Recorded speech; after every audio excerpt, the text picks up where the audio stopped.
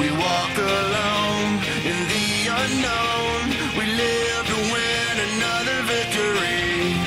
We are the young, dying sons. We live to change the face. of history.